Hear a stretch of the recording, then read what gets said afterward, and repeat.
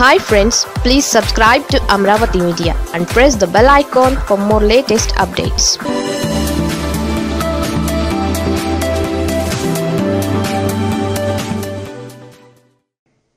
ఆ వ్యక్తి అమరావతి అద్భుతంగా తీర్చిదిద్దానని చెప్పుకున్నాడు గతంలో.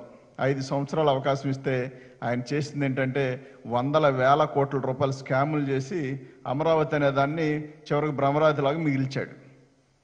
మరి ఆ వ్యక్తి ఇప్పటికి కూడా అమరావతి రైతులు త్యాగాలు మర్చిపోలేనిది అని చెప్తా ఉన్నాడు. నిజంగా రైతులు ఉన్నారు వాళ్ళందరూ దెబ్బతిన్నారంటే ఖచ్చితంగా చంద్రబాబు నాయుడు గారి పుణ్యమే తప్ప మరొకటి కాదు.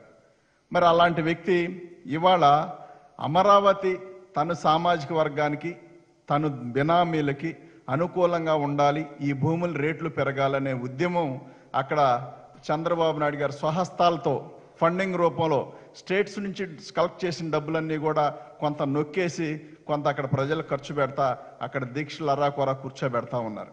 కాబట్టి చంద్రబాబు నాయుడు గారు తెలుసుకోవాలి తెలుసుకోవాల్సింది ఏంటంటే మీ అమరావతి అనేదానికి మీరు చెప్పేదానికి పేదవాడు ఉండడానికి అవకాశం ఉందా?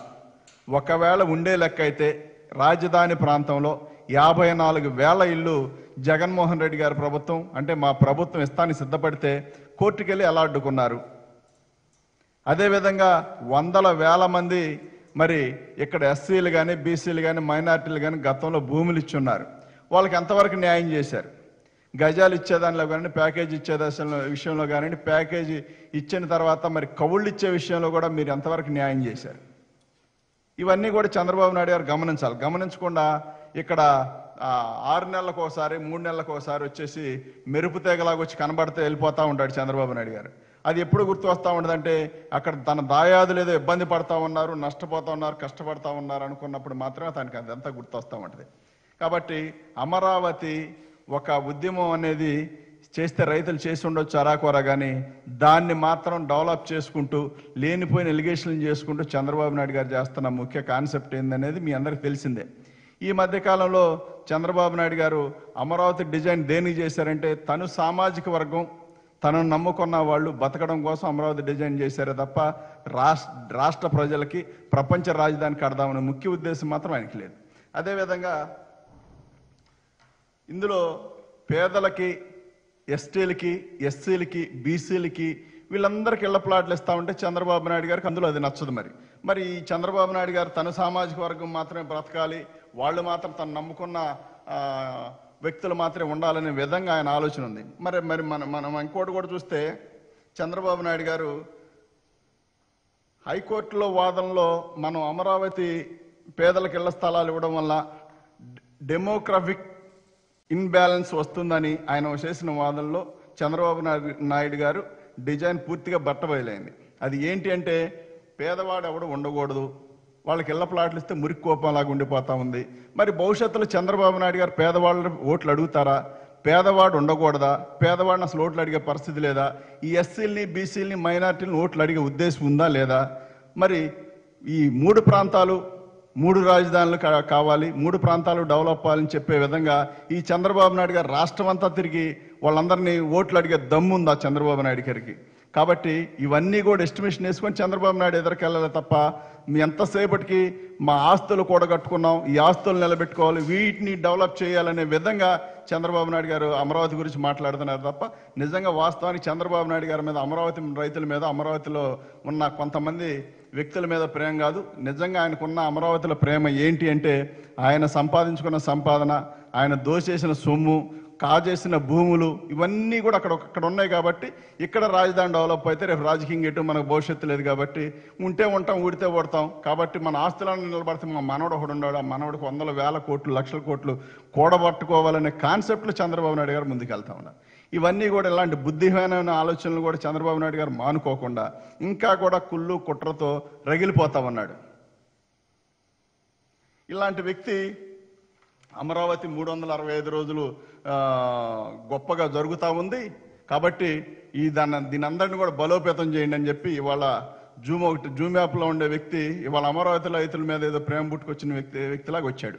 మరి గతంలో చంద్రబాబు నాయుడు గారు దళితుల కోసమో మరి ఆయన కోసమో ఎందుకోసం చేశాడో తెలియదు కానీ మరి అం- మహానుభావుడు భారతరత్న అంబేద్కర్ గారి విగ్రహం ఒకటి మరి నేలపాడు అనే గ్రామంలో పెట్టడానికి ఏర్పాట్లు చేశారు. శాఖమూరు నేలపాడు ఆ- ఆ ప్రాంతంలో ఏర్పాటు చేశారు. దాన్ని ఏమైనా ఎదరకు తీసుకొచ్చారంటే ఆ విగ్రహం అనేది కానీ దాని విషయం కానీ కన్నీళ్ళు దళితులు కన్నీళ్ళు తొడటానికో లేకపోతే జనాల్లో షో చేయడం కోసం ఆ విగ్రహం పెడతాం అని చెప్పుకున్న చెప్పిన వ్యక్తి నాలుగు సంవత్సరాలు కోడిగుడ్డు మీద ఏకల బీక్కుంటా మహానుభావుడు విగ్రహం పెట్టాలని ఆలోచన లేకుండా ఆ విగ్రహాన్ని అలా వదిలేసి ఇవాళ మళ్ళీ నీతి కథలు చెప్తా ఉంటాడు. దళితులకి ఏదో జరుగుతూ ఉంది. ఒక పక్కనే దళితులకి అన్యాయం జరుగుతూ ఉందంటాడు. ఒక పక్కనే దళితులకి ఇల్లు కట్టుకుంటే ఓర్చుకోలేడు. దళితులు గూడు కట్టుకుంటే ఓర్చుకోలేడు. దళితులకి ఏమైనా ఇళ్ళ ప్లాట్లు ఇస్తా ఉంటే ఓర్చుకోలేడు. అదేవిధంగా మరి పేదవాడు ఇంగ్లీష్ మీడియం చదువుకుంటే భరించలేకపోతున్నాడు. అంటే ఆయనతో ఎక్కడ సమానం అవుతారో నాకు లెవెల్కి ఎక్కడ ఉంటారో నాకంటే ఘనంగా వీళ్ళందరూ ఎక్కడ బతుకుతారనే కుళ్ళు కుట్ర సూయితో రగిలిపోతా ఉన్నాడు చంద్రబాబు నాయుడు. అలాంటి వ్యక్తి వేల కోట్లు దోచేసిందే కాకుండా జగన్మోహన్ రెడ్డి గారు ముప్పై ఒక్క లక్ష ప్లాట్లు ఇస్తా ఉన్నారు. ముప్పై ఒక్క లక్ష ప్లాట్లు ఇస్తా ఉంటే ప్రతి నియోజకవర్గంలో ప్రతి ఏరియాలో ప్రతి మండలం నుంచి వాళ్ళ టీడీపీ కార్యకర్తల్ని కోర్టులకి వేసి కోర్టులకు వేసి ఏదో రకంగా అడ్డుకోవాలనే విధంగా చంద్రబాబు నాయుడు కుళ్ళు కుట్రలతో పూనుకుంటే వాళ్ళందరూ కూడా ఎక్కడా సిగ్గు అనేది లేకుండా నిస్సిగ్గుగా కోర్టులకు వేసి అక్కడక్కడ పిటిషన్లు వేసి ఇళ్ళ ప్లాట్లు అడ్డుకుంటా ఉన్నారు. వీళ్ళు మరి పేదల గురించి దళితుల గురించి పే- కొద్ది మరి సామాజిక వర్గాల గురించి వీళ్ళు మాట్లాడుతున్నారు. చంద్రబాబు నాయుడు గారికి కావాల్సింది ఏంటంటే ఆయన సామాజిక వర్గం బతకడం కావాలా? ఆయన నమ్ముకున్న దొంగలు బతకడం కావాలా? ఆలీబాబా అరడజన్ దొంగలాగా ఆలీబాబా నలభై సంవత్సరాల దొంగలంతా కూడా చంద్రబాబు నాయుడు గారి దగ్గర ఉన్నారు. ఆ దొంగలందరూ బతకాలని చంద్రబాబు నాయుడు గారు అమరావతిని అడ్డం పెట్టుకోవాలా? అందులో కాన్సెప్ట్ కానీ ఇదంతా తరలేపుతా ఉన్నాడు. చంద్రబాబు నాయుడు గారు బుద్ధిహీనమైన ఆలోచనలు మానుకోవాలి. మూడు రాజధాని ప్రా మూడు రాజధానులు మూడు ప్రాంతాలు. అదేవిధంగా ఎస్సీలు ఎస్టీలకు ఇళ్ళ ప్లాట్లు అడ్డుకునే దాంట్లో నీ సమాధానం చెప్పాలా? నీ వైఖరి చెప్పాలా? నలభై ఏళ్ళ అనుభవం చెప్తావు. దేనికి నీ అనుభవం అంటే మామగారు నిన్ను పోటీ పడడానికి ఉపయోగపడింది. ఎవరితో టీడీపీ పార్టీ లాక్కోవడానికి ఉపయోగపడింది. ప్రజల్ని వాడుకొని వదిలేయడానికి ఉపయోగపడింది. దళితులు నిలువున మోసం చేయడానికి ఉపయోగపడింది. దళితులను కించపరచడానికి ఉపయోగపడింది. నీ నలభై ఏళ్ళ అనుభవం. నువ్వు వచ్చి మళ్ళీ ఎక్కడేదో ఉద్ధరిస్తూ ఉన్నావంట. భవిష్యత్తులో మీరు ఇక రాజకీయంగా పనికిరారు కనీసం ఆస్తులన్నా కూడబెట్టుకుందాం ఈ ఆస్తులన్నా దక్కించుకుందాం అనే విధంగా ఇంత నీచ సంస్కృతి తెరలేపారంటే ఇంకా సిగ్గు లేకుండా వాళ్ళ పార్టీలో చంద్రబాబు నాయుడు గారు అండ్ బ్యాచ్ కూడా ఇంకా మాట్లాడుతూ ఉన్నారు. అమరావతి అమరావతి రైతులకు ఏదో జరుగుతూ ఉందని. మీలో ఎవరైనా సరే ఓడిపోయిన తర్వాత ఒక్కరోజు వచ్చి వాళ్ళ దీక్షలో మరి ఒక్కడ కానీ కూర్చున్న పరిస్థితులు ఉన్నాయా అసలు నిజంగా మీరు చేసే దీక్ష కాబట్టే కదా అదంతా అట్లా అవుతా ఉంది. నిజంగా న్యాయం చేయాలని అంటే మీకు ఐదు సంవత్సరాలు సమయం ఇచ్చారు. అప్పుడు ఏమి న్యాయం చేశారు వాళ్ళకి? ఏమని చెప్పి భూములు తీసుకున్నారు? సింగపూర్ టెక్నాలజీ మూడు సంవత్సరాలు నా చేతిలో ఉంది బ్రహ్మాండంగా తీర్చిదిద్దని చెప్పారు. అమరావతి రైతులను తీసుకెళ్ళి సింగపూర్లో ఏదో చూపించారు. అమరావతి రైతులు అప్పుడు వెళ్ళిన లిస్ట్ ఒకసారి బయట పెట్టండి. ఎవరెవరు రైతులు వెళ్ళారు? ఎవరు వెళ్ళారు? పేదవాళ్ళు ఎంతమంది వెళ్ళారు? ధనికులు ఎంతమంది వెళ్ళారు? నిన్ను నమ్ముకున్న టీడీపీ కార్యకర్తలు కార్యకర్తలు సింగపూర్ పర్యటనలు పంపించి అక్కడ ఎలా ఉందో రాజధాని ఎక్కడ కూడా అలా ఉంటుందని చెప్పి భ్రమ కల్పించి ఇలాంటి నికృష్ట చర్యలు తీసుకొని నిలువున కొంప ముంచి చంద్రబాబు నాయుడు గారు మళ్ళీ ఏదో మరి కూని రాగాలు పాడుతూ ఉన్నాడు ఈ వ్యక్తి. ఇలాంటి వ్యక్తికి మరి ఎన్నిసార్లు చెప్పినా బుద్ధి మార్చుకునే పరిస్థితి కనిపించట్లేదు. ఆ వ్యక్తి అలాగని చెప్పి ప్రజలకు మేలు జరుగుతుంటే చూస్తా భరించలేని పరిస్థితికి వెళ్ళిపోతా ఉన్నాడు.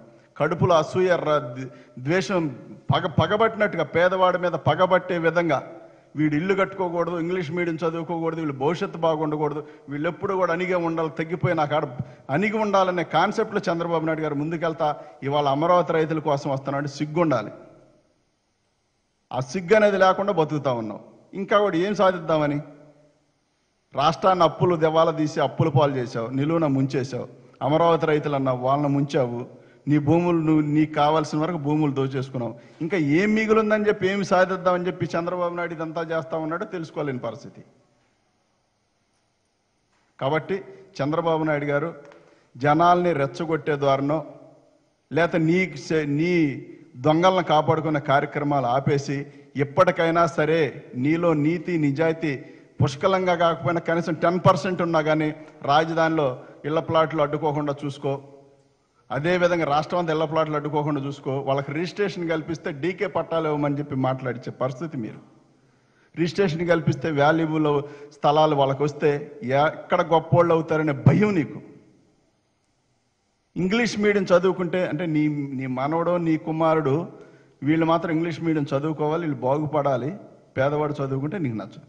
కాబట్టి నీ ఆలోచన ఏంటనేది రాష్ట్ర ప్రజలందరూ గమనించారు. ఒకసారి తరిమి కొట్టారు ఈడ్చీడ్చి కొట్టారు. అయినా సిగ్గురాల సిగ్గు రాదు ఎందుకంటే అది అనేది ఒకటి ఉంటే కదా నీకు? అది లేకుండా ఇవన్నీ కూడా ఏదో ఒకటి భ్రమ కల్పించుకుందామని చెప్పి పద్దెనిమిది నెలలకు ఒకసారి ఏ ప్రతిపక్ష నాయకుడన్నా రాష్ట్రం నుండి ప్రజల సమస్యలపైన పోరాడతాడు. నిన్ను చూస్తే ప్రతిపక్ష నాయకుడు లేకపోతే హైదరాబాద్ వాసివి కూడా అర్థం కాని పరిస్థితి. ఉమ్మడి రాష్ట్రంగా ఉన్నప్పుడేం అక్కడి నుంచి వదిలిపెట్టి ఓటుకు నోటు కేసులో దొరికి పారిపోయి ఇక్కడికి వచ్చావు? ఇక్కడ లేని అమరావతిని కడతానని చెప్తా ఉంటావు ఉన్న రాజధానిని వదిలేసి వచ్చి. ఎట్లా నమ్ముతారు నిన్ను ప్రజలు? కాబట్టి రాష్ట్ర ప్రజలందరూ కూడా గమనించాలి. దస్ దసరా వేషగాడిలాగా చంద్రబాబు నాయుడు గారు వచ్చారు. కాబట్టి ఆ దసరా వేషగాడికి ఏం ముష్టి అవసరమో తెలుసు జనాలందరికీ కాబట్టి ఇప్పుడు ఒక రోజు వచ్చేసి ఇవాళ ఖర్చు ఎంత అయిందని చెప్పి ఫండ్ కలెక్ట్ చేయడానికి వచ్చినట్టున్నాడు. నాకైతే ఇది అర్థమైంది చంద్రబాబు నాయుడు గారిని చూస్తే. కాబట్టి ఆ కలెక్ట్ చేసిన సొమ్మె ఆయన ఇస్తే తీసుకుని త- పెందలకాడ హైదరాబాద్ చేరుకుంటాడు. అసలే సాయంత్రం అవుతుంది కాబట్టి ఆయన పంపించే ఉద్దేశం ఉంటే వాళ్ళని ఇచ్చేస్తే ఆయన వెళ్ళిపోతాడని చెప్పి తెలియజేస్తూ మరి రాష్ట్ర ప్రజలందరూ కూడా ఒకసారి గమనించాలని మాత్రం ఆలోచి చెప్తా ఉన్నా.